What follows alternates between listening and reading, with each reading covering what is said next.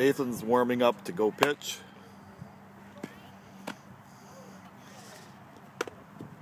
Ply's warming him up.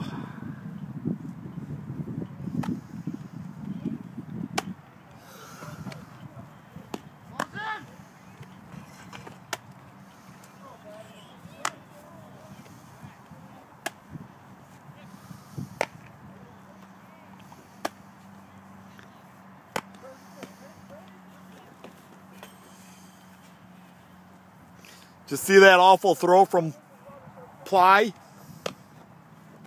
said if I miss, I'm talking about.